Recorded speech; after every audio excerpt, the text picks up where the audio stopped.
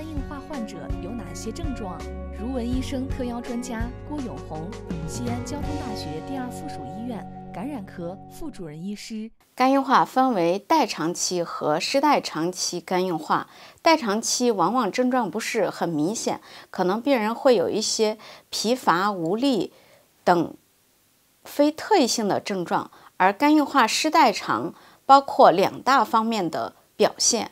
首先是肝功能损伤的表现，患者可以出现消化道症状，包括食欲不振、腹泻。腹泻常常是肝硬化病人最常见的一种表现，很多患者反复到消化科就诊，最后发现是肝硬化导致的。所以，如果病人长期慢性腹泻，要注意排查是否有肝硬化。除此之外呢，还可以有内分泌失调的表现，比如男性可以出现睾丸。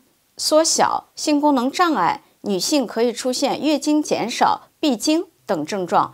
还有呢，由于肝硬化病人可以出现肾上腺皮质激素的异常，导致皮肤的色素沉着，面部黝黑，我们称之为肝病面容。下肢可以有色素沉着，而由于雌激素灭活的减少，男性患者可以出现蜘蛛痣或者是肝掌等症状。除此之外呢，还有门脉高压的表现。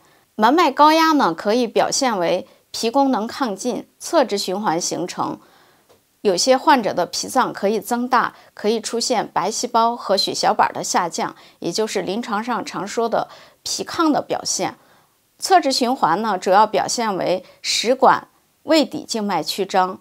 腹壁静脉曲张以及痔静脉曲张，这是由于侧支循环开放导致的结果。所以呢，患者也可以出现因为食管胃底静脉曲张导致的上消化道出血，以及由于痔静脉曲张引起的痔疮出血。